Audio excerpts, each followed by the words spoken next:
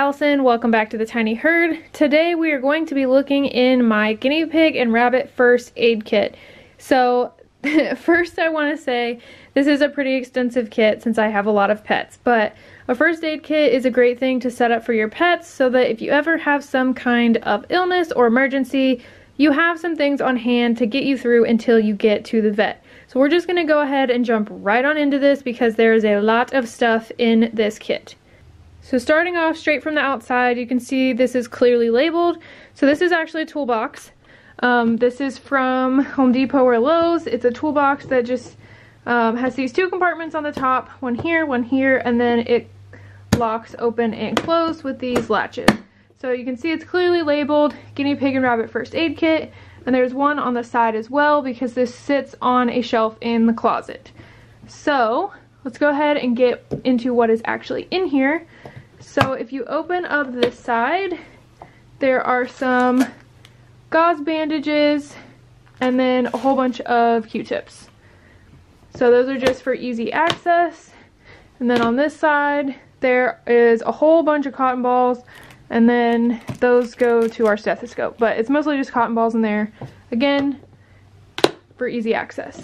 So let's go ahead and open it on up and you can see what we have in here. So one thing I do want to say before we get too much farther into this is having an emergency kit is great, but it is not a replacement for taking your pet to the vet. So taking your pet to the vet is still very important if there's any kind of medical emergency, but if they just have something minor that you know how to treat at home, having stuff on hand um, is really helpful. And then if something unexpected happens or an illness happens, it's great to already have these things to hold you over until you're able to get to the vet. Okay, so let's go ahead and get right into everything that's in here because it is quite a bit. So first I want to point out, you can see up here, there's this list and this has everything here, I'll get it out and show you. It has everything in our kit on it. Um, what it's for and when it expires. So that way I just have some kind of reference that tells me when it expires and then if I'm traveling or out of town and um, Pig Dad or somebody needs to know what I'm talking about and what it's for or anything about it, it's on this list. So I just have it in a little baggie on top of here so that it's just up there and easy to access. So getting into the actual items. So let's just grab something and get into it. So I'm not going to explain specifically what every single thing is for. Um, some of it is kind of self-explanatory and then some of it is medical specific. Um, so I'm just going to grab stuff and go for it. So this is um, styptic powder. And this is to stop bleeding in case you accidentally cut the quick when you're clipping nails. Um, then I have, again, not going to focus, um, some Vaseline. And really this is just um, in case, really it's just in case it's needed. Um, I honestly can't think of something off the top of my head. Um, but I also have a thermometer so I have this thermometer. This is mostly for the bunnies in case I needed to take their temperature. And then I have the Vaseline to go with it. Um, I would look up how to take a bunny's temperature before trying to do it. I have never done it, but I have this just in case I need to. Um, I'm going to take things out as I talk so that I don't try to talk about the same thing twice. Um, I have a little pocket pack of hand sanitizer in here. This is for people. This is not to go on a pet. Um, I just have this in case I'm traveling with the pets or really quickly need to um, clean my hands. Then I have this 100% aloe vera. This works good for any irritated skin or redness or um, dry skin. This is really good for treating guinea pigs especially on like their ears or like I said if they have a cut or irritated skin. So make sure you get 100% pure aloe vera gel. This one I actually found in the travel section of Target and that's the only place that I could find the 100% gel because you don't want it to have any added colors or anything like that. All right, next we have, this has my address and stuff on it, um, but this is, I think this is Metacam in this one. I believe this is, this is some kind of pain meds. Um, I'm not going to get it to focus because it has addresses and stuff on it, but this is a pain med that our vet gave to Mikey when he was having his ear infections recently. So I just kept that just in case. Pretty sure it's Metacam. Um, then I have gas relief drops. These are infant gas relief drops. I just got these at Walmart or the, the grocery store or something. Um, these are good for if your guinea pig gets bloat before you're able to get them to the vet. So if your guinea pig is bloated, definitely get them to the vet as soon as you can. But this can be given um, to try to help them out until they can get to the vet. All right. Um, this is not something that you will have either. This came from our vet. Um, this is the antibiotic that Mikey was on for his ear issues that really didn't do anything for him, unfortunately, because um, we're still kind of at a loss of what's going on there. But this is what he was on, so I just kept what was left of it. So this also has addresses on it um, on the other side. This was the antibiotics that the vet prescribed for Freddie when he got sick a couple weeks ago. Um, it's wrapped up because it's light sensitive and it is pre measured syringes. So I just kept them just in case because it is a full course of Baytril. So I kept it just in case anything came up with anybody else that seemed related to Freddie's issues. Um, but I probably am not going to keep this for much longer because there's really not a situation where I would give antibiotics without going to the vet first, but I kept it just for now. Okay, this, okay, it doesn't have addresses on it. Um, this has been in all of my health kit videos. I'm gonna have to try to get, nothing wants to focus. Um, I'm gonna have to try to get a refill of this because um, it expires in March of 2020. But this is um, eye drops that I use when, you can see it's a little tiny bottle. It's eye drops I use when somebody gets a hay poke. But this is corneal repair, so this is what fixes if their eye gets scratched and they have an ulcer. So I like to use these drops if somebody gets a hay poke just to be sure because I usually don't go to the vet for hay pokes unless they're pretty bad because we get them a lot. Um, next, I just have, this is normal, like Neosporin. This is just like the off-brand. Um, the thing with this is it needs to be used under a bandage or somewhere that your pet can't lick it off because it can cause some major issues if they eat this with what is in it. Um, so see, you can even see I put on it, don't let pig ingest. Um, but I have it in here just in case, and I have actually used it a couple times. Um, like when Lily pulled her nail out, I used a little bit of this just to help keep it from getting infected, but I just made sure that she couldn't lick it off. Okay, then we have Gorgeous Guineas products. So this is just the Kind and Gentle Conditioning Shampoo. I just keep this in there because um, just in case um, I'm traveling or some situation comes up where somebody needs a bath like really quickly and this is all that I have with me. So when I first put this health kit together, um, I was traveling back and forth from my old apartment to uh, my boyfriend's house, which we now live together in the same place, so I don't travel with them near as much, but I had some of this stuff in here in case there was like an issue when I was visiting him or if um, there was a car accident or something that I don't want to think about, but that is why that was in there. Okay, then I have the and Easy shampoo from Gorgeous Guineas, and I just have the little sample size in case um, somebody gets lice or something from somewhere so that we can treat it before we get to the vet. Okay, the rest of this stuff is kind of like supplies. So I have a whole bunch of different syringes for medications, force feeding, all those different things. Um, then I have two big ones for force feeding, which these don't really work that great, so I don't really use these, but I have them just in case. Then I just have this extra pair of nail clippers, which I don't really like these ones, which is why they're in here, because um, I don't really use them, but they're in here just in case I need them. Then I have some human nail clippers. Um, I probably would use these over those other ones because I really don't like those other pet nail clippers. But I have these just in case and they've never been used so they are nice and sharp.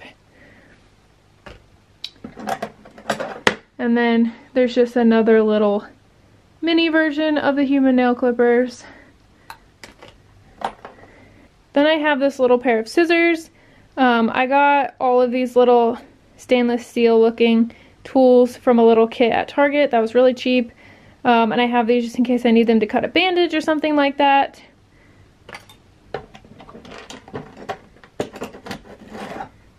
I have a nail file in case I use the human nail clippers. I can file off any rough edges. Then I have a set of tweezers. Again, these came with the other stainless steel looking things.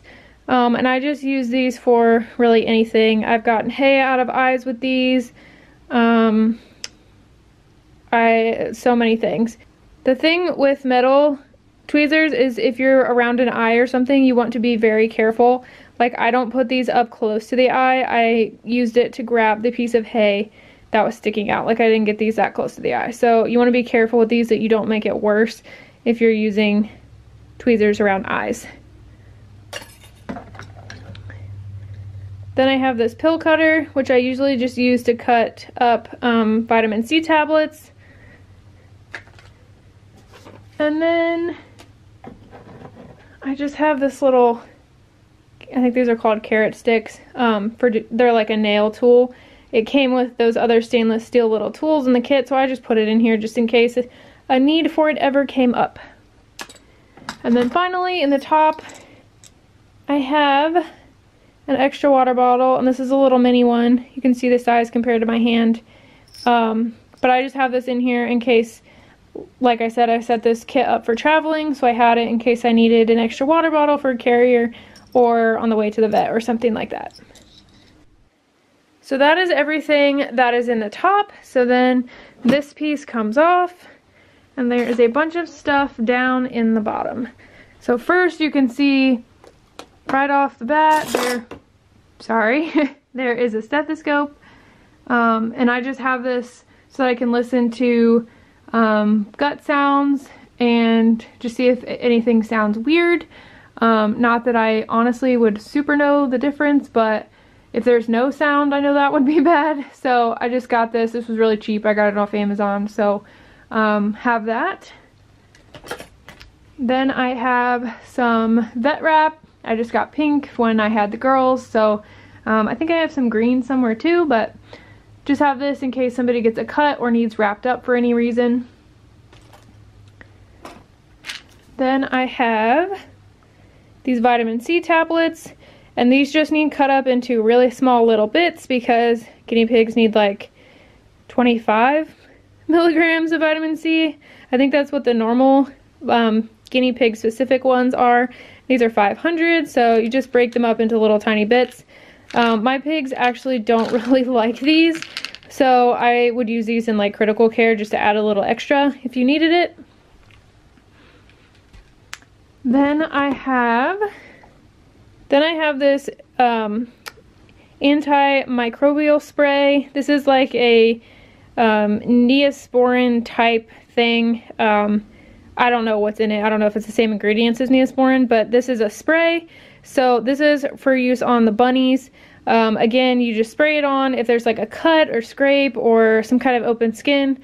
And um, I personally would probably wrap it up so that they couldn't lick it off or anything. Um, but I just, I've never used it, but I have it just in case anybody gets hurt.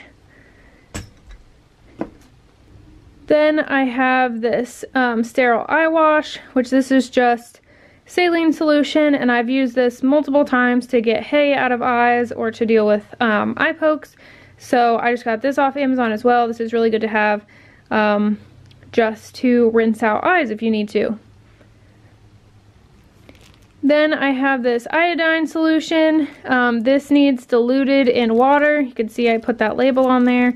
But this is like an antiseptic. So like for example, when Lily pulled her nail out, um, I diluted a little bit of this with water and I put it on her um, toe to kind of clean it off and to keep it from getting infected. So this is just a good um, antiseptic disinfectant type thing for um, cuts and other wounds.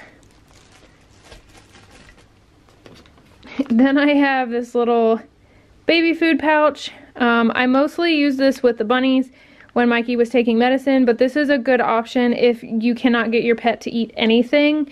Sometimes um, something that's fruity and tastes good to them um, will get them eating, and that is better than them not eating anything at all if they will not eat absolutely anything. So I do have this. I also um, use this to give Mikey medicine. I just mixed his medicine in with a spoonful of it and he would eat it.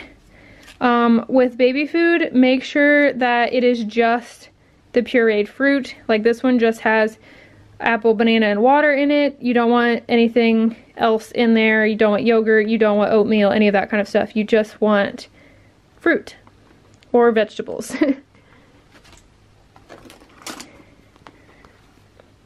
then this weird blue thing is a heating or cooling pack. So you can put it in the freezer to be a cooling pack or you can put it in the microwave to be a heating pack. And I actually did use this one time. I used it a couple weeks ago with Freddie when he was um, sick and kind of dehydrated because um, he was losing body heat. So I did have him on this. Then I have this bag of Epsom salt, which feels like it needs, yeah, replaced. It's all a hard block. Sorry for just doing that on camera. Um, but I have this Epsom salt. This is good for like soaking feet. Um, I was soaking Luna's feet in this because she had really, really dry skin always on her feet and it was just, her feet were always a mess. So I have this to soak little piggy feet in if I need to or um, I'm sure there's lots of other uses for this as well, but that's mainly what I had it for. So I just kept the whole bag in my kit. Then I just have some measuring spoons. Um, I'm about to show you my recovery food and I just use these when I'm mixing that up.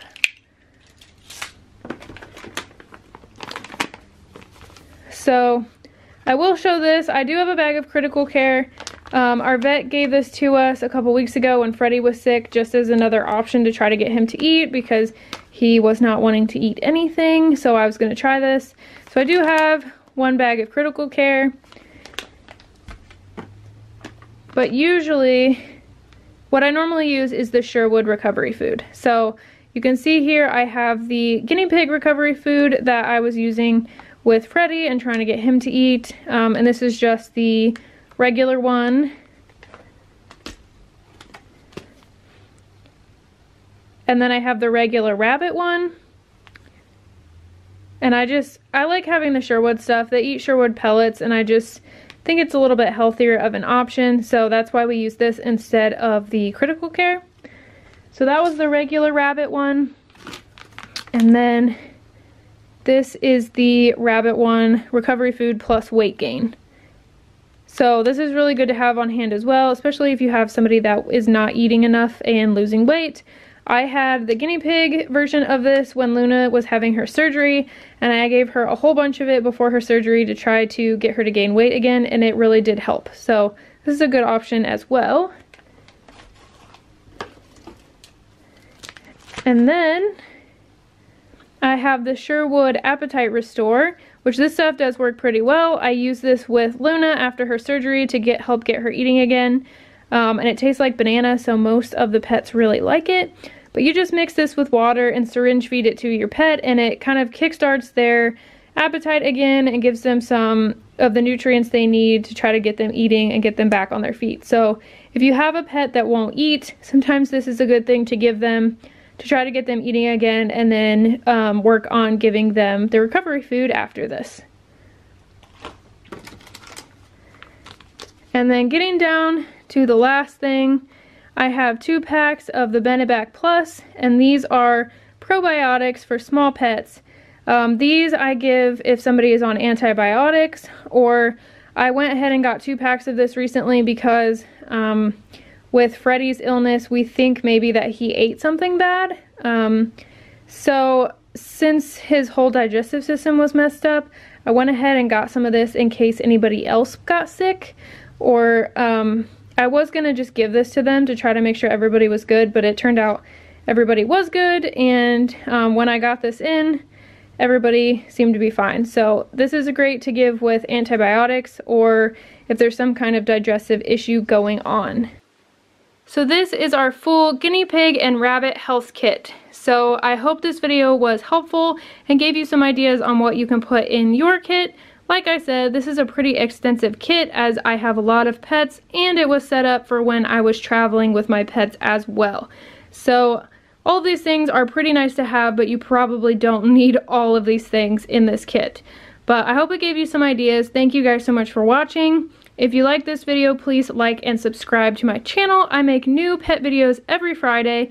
You also can find us on Facebook, Instagram, and Twitter. All of them are at The Tiny Herd. You also can check out our website and blog at thetinyherd.com and all of the products and all of those relevant links will be in the description box down below. Again, thank you so much for watching and I will see you in the next video. Bye!